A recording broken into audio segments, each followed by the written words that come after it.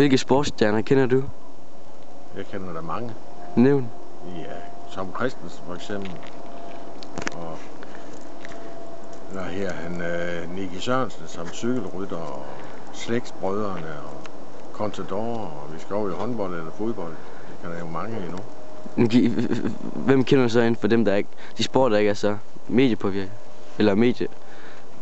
Ikke så meget med medier. Ja. For eksempel svømning. Der er Sofie Ottesen, for eksempel. Sofie? Ja, Jeanette? Jeanette Ottesen.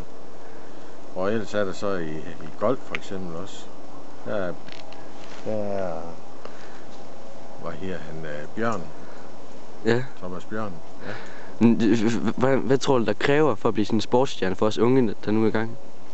Det kræver 100%, ikke engang 100%, 120% intensitet og, og afsavn for sin hverdag. kender du? Laudrup, Bjarne Ries og Messi selvfølgelig, Ronaldo, der er flere. Michael Jordan.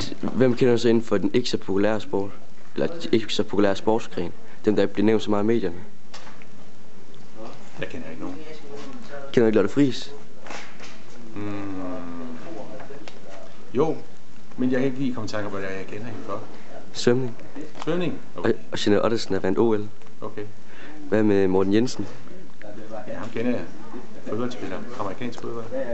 Nej, Danmarks, bedste, Danmarks bedste linjespringer. Hvad med Eskild Ebbesen? Kender jeg heller ikke. Hvad tror du så, at de unge, hvordan tror de unge kan komme til tops? Hvad tror du, det kræver? Jeg tror, det kræver, at man er målrettet ved sig selv og sin sport.